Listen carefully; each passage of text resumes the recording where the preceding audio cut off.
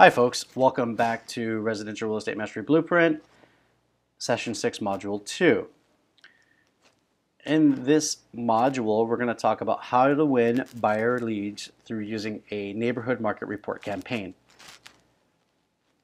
The campaign is comprised of four emails, and the purpose is to nurture your buyer leads and brand yourself as a local market expert. In email number one, you're going to introduce yourself again and provide the customized market report as a PDF attachment.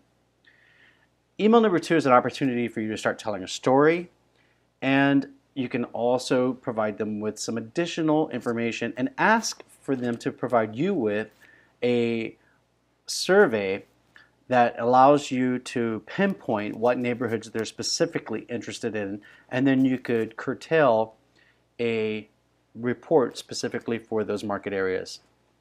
In email number three, you're solidifying your top of mind awareness.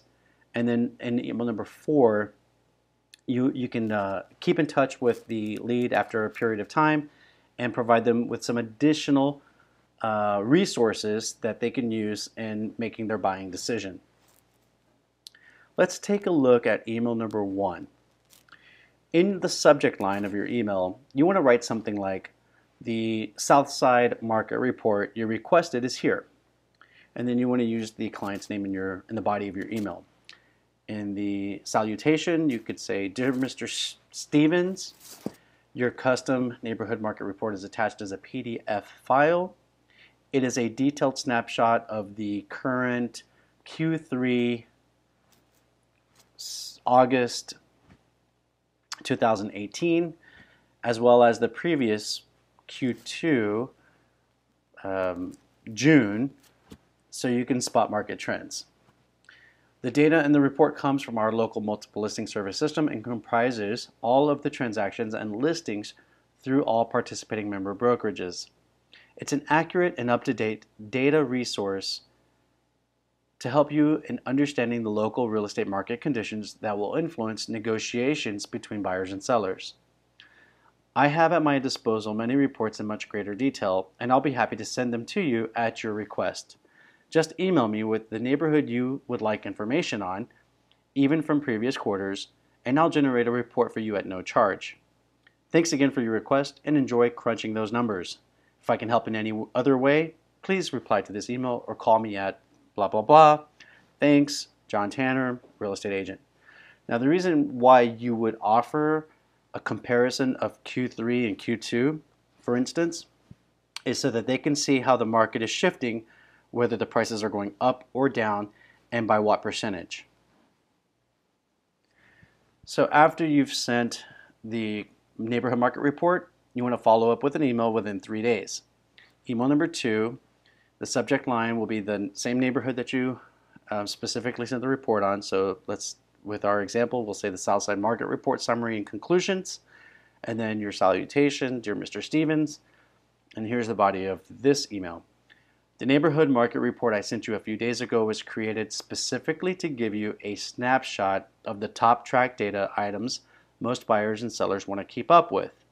The summary at the bottom is broad as well.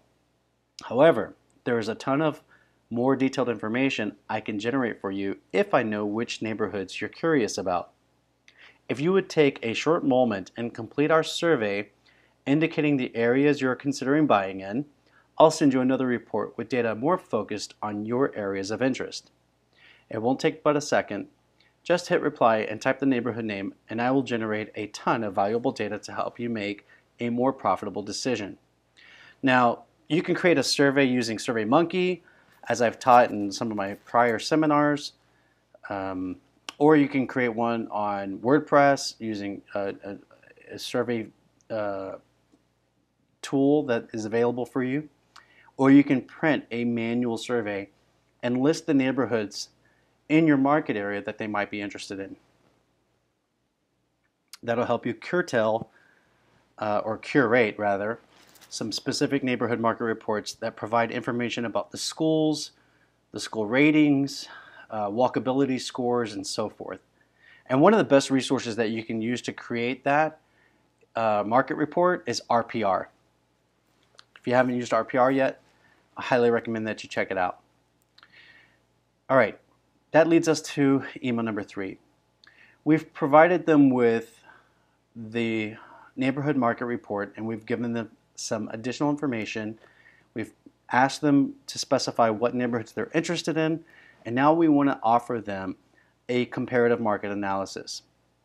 And so the body of the text of this email is as follows. Subject line, you're on my list. Dear Mr. Stevens, no, it's not one of those bad lists. It's my quarterly market report mailing list. Whether we've corresponded since you received your Southside real estate market report or not, I will send you an updated report every three months. You won't have to ask for it again.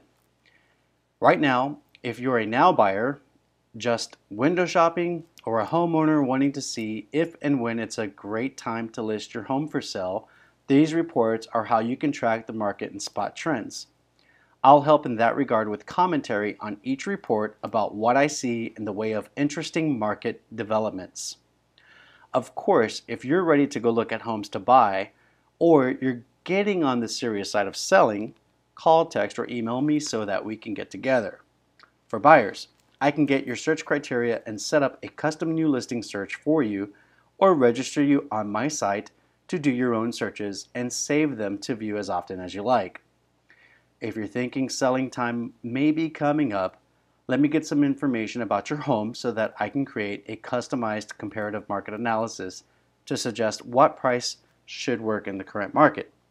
This is always more accurate if I can visit your property to conduct a site inspection and get more details but I can also send you a report sight unseen via email if you prefer. Thanks for your interest in my services. I hope you find the quarterly reports of value. Now, if you're marketing using this to market to first-time homebuyers, you may want to edit this email and take out the parts about selling because they don't own a home yet. This is a first-time homebuyer. So I just wanted to preface that so that you can take that into consideration when you're creating your email automated sequence. Moving on to email number four.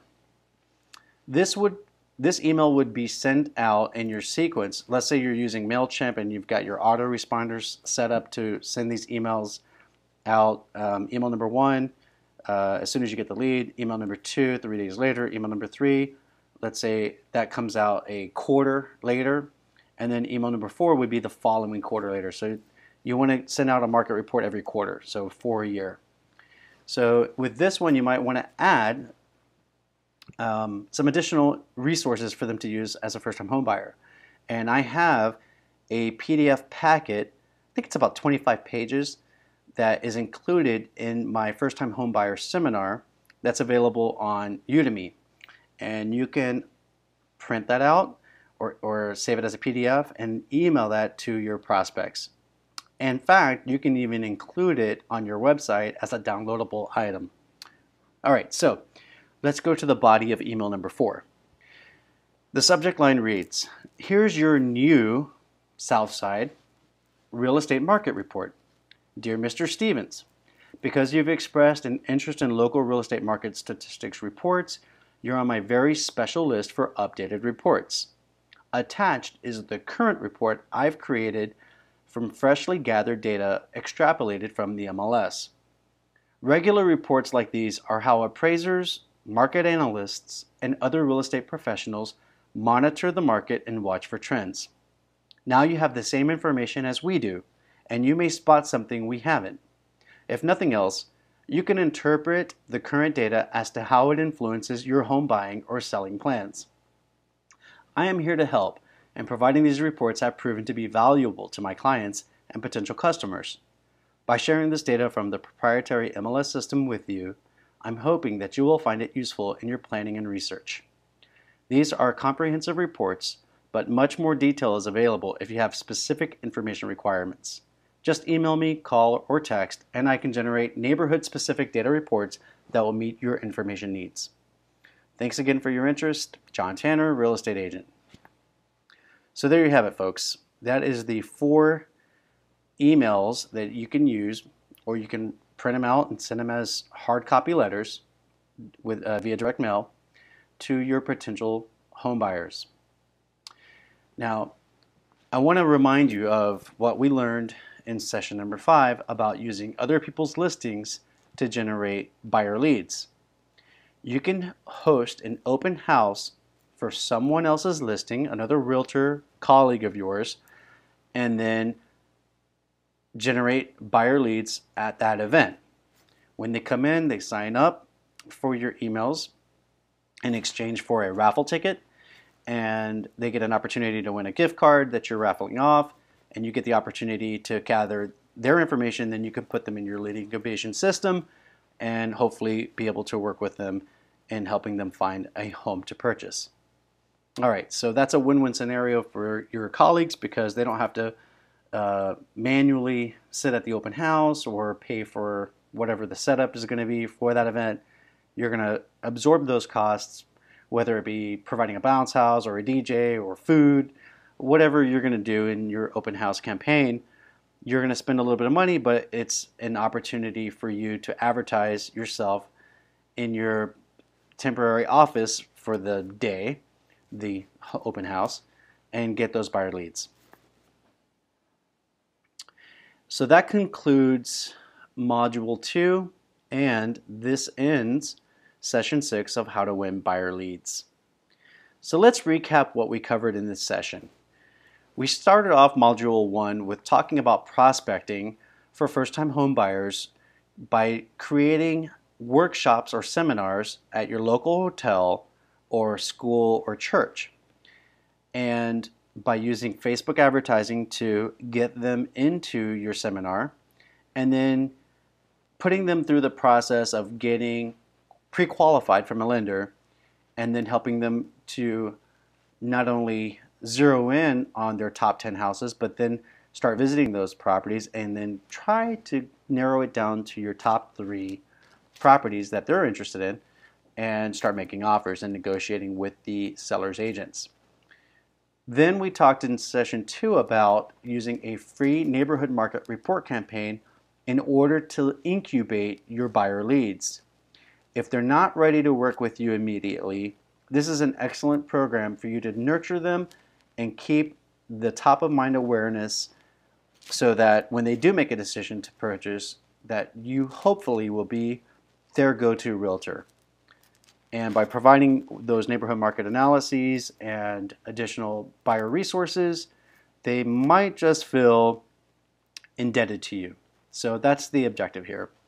And lastly, I threw in a recap of the open house strategy using other people's leads, or listings rather, to get those buyer leads. All right, folks, I always end my sessions with a quote, and this one comes from I think it's pronounced Koki Adasi. Not sure about the pronunciation on that name, but let's read the quote together. The host, the sorry, the host, the house you looked at today and wanted to think about until tomorrow may be the same house someone else looked at yesterday and will buy today. In other words, don't sit on the fence too long. If you like a property, go out and get it. All right, that uh, concludes Residential Real Estate Mastery Blueprint Session 6. I hope you've enjoyed it. I've enjoyed being here for you. Thank you for being a part of our community, and I look forward to seeing you in session number seven. Take care, and God bless.